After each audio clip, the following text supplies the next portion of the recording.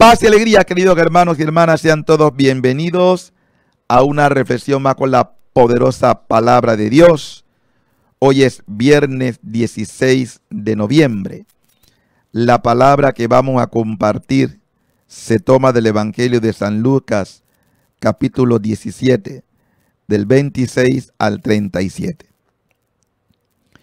En aquellos días Jesús dijo a sus discípulos, lo que sucedió en el tiempo de Noé, también sucederá en el tiempo del Hijo del Hombre. Comían y bebían. Se casaban los hombres y mujeres, hasta el día en que Noé entró en el arca. Entonces vino el diluvio y los hizo perecer a todos. Lo mismo sucedió en el tiempo de Lot. Comían y bebían compraban y vendían, sembraban y construían. Pero el día en que Lot salió de Sodoma, llovió fuego y azufre del cielo, y los hizo perecer a todos. Pues lo mismo sucederá el día en que el Hijo del Hombre se manifieste. Aquel día, el que esté en la azotea y tenga sus cosas en la casa, que no baje a recogerla.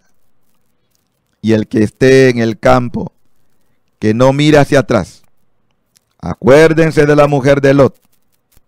Quien intente conservar su vida, la perderá. Y quien la pierda, la conservará.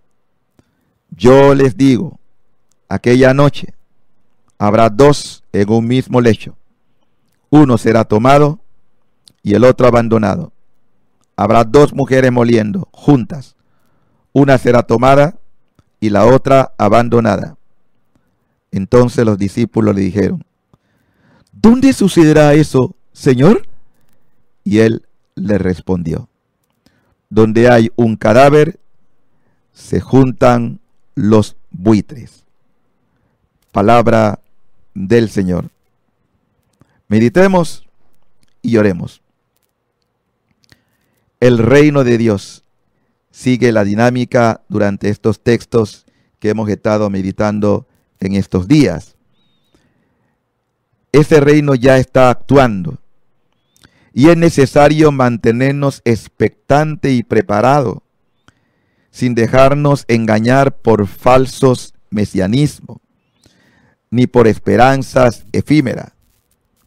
Debemos llevar la vida con normalidad sin caer en exageraciones, siempre con la mirada fija en el cielo, en la salvación, con la misma fe que distinguió a Noé y a Lot, discerniendo a la luz de los acontecimientos del mundo y del día a día, cómo la mano de Dios se va moviendo.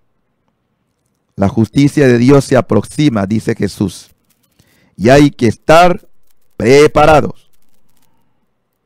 Usted puede preguntar, ¿cómo?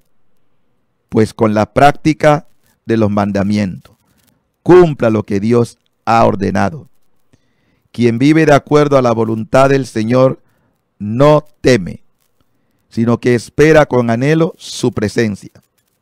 La preparación implica un camino de conversión continua una vida constante de oración, de practicar los sacramentos, con la vista hacia adelante, sin detenerse ni mucho menos retroceder, haciendo el bien sin mirar a quién.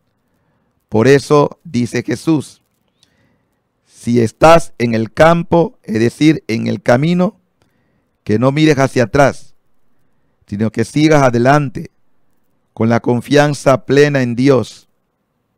Nos dice el Papa Francisco a propósito, perder la vida por causa de Jesús puede suceder de dos maneras, explícitamente confesando la fe o implícitamente defendiendo la verdad. Pidamos al Señor que frente a los acontecimientos presentes tanto en la iglesia como en el mundo, nos permita también decir, Maránata, ven Señor, te esperamos.